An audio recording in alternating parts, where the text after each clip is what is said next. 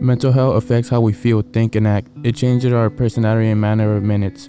Mental wellness is something that affects us through our childhood all the way up to adulthood. Emotional pain is not something that should be hidden away and never spoken about.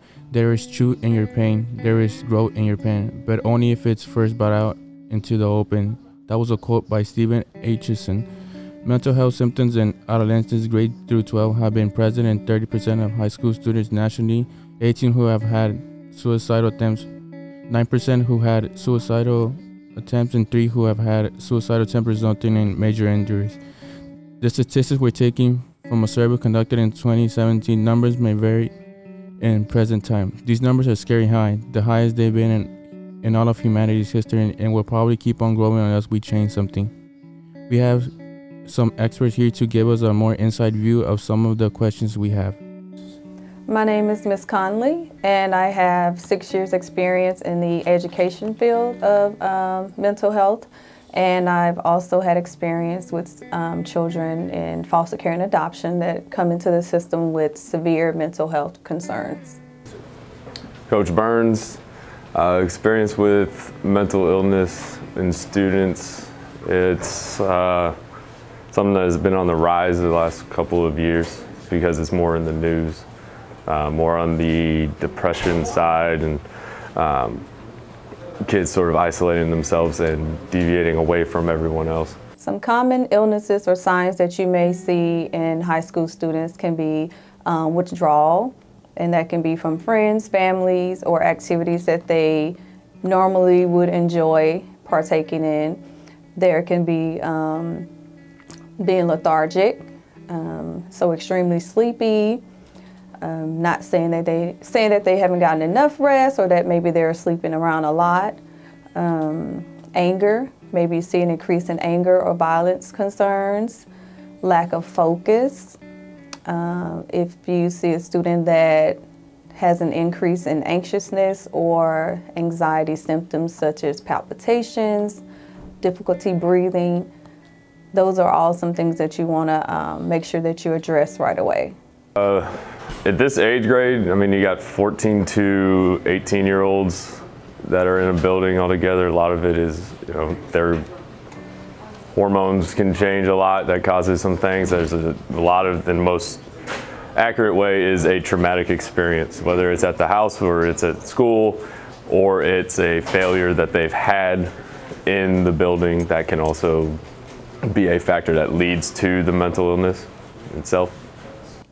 Some of the ways we can address the serious mental health increase amongst high school students are um, by, I would say, intervention. So teaching, educating students on what these illnesses look like, their symptoms, and ways to cope with them, um, how to prevent them from escalating, as well as the family, um, the community, the the, student, the teachers and administrations at these schools as well, they will also need to know proper ways to um, to prevent any any further um, escalation in these mental. Listen, listen to the kids. I mean, a lot of people, it's oh they need to go sit in a circle and talk. Well, a lot of people don't want to spill their business out there. Um, the other thing is, and this is going to sound bad to say, but quit talking about it. You know, it's it's sort of like you go on WebMD and you have a cut on your hand, and you look on WebMD, and next thing you know, you think you got lupus. I students should be able to get uh, days off to, for mental health um, rejuvenation. I do believe it's it's something that. Um, is vital for every person, whether they're an adult or a young student, is to have that time to relax, recoup, um, de-stress, because high school especially can become very stressful, as we know, and it's very important for students to have that time to kind of go through a process with themselves and and just navigate with their thoughts and their feelings. Society as a, as a whole, we're reactionary. It's something happens and then we do something about it. We're not proactive in anything that we do. Something has to happen in order for us to make a change. What have we done as a school? We've talked about it, but I think having an assembly in which you're telling kids the signs of depression, you're telling the kids the signs of someone that's about to commit suicide or something like that, that's fine and dandy, but you're sitting in, a, in an assembly hall with 400 kids. How many of those actually were listening? Um, I think what they should do instead, instead of talking about it, is a lot of a lot of y'all that don't have a high school experience. So it's all doom and gloom 24/7. So if you want to change the mental illness side, because a lot of it is depression, a lot of it is, you know, feelings of not being part of something, right? Then you have to create a community. And I mean, you walk around a building, you see one or two W's. You wouldn't even know that this is Waltrip.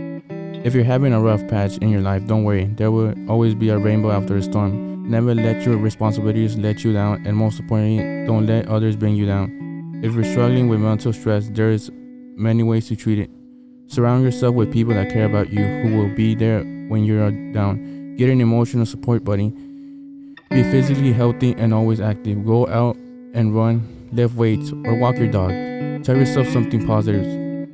Research shows that how you think about yourself can give a powerful effect on how you feel. Open up to someone. Knowing you are valued by others is important for helping you think more positive too.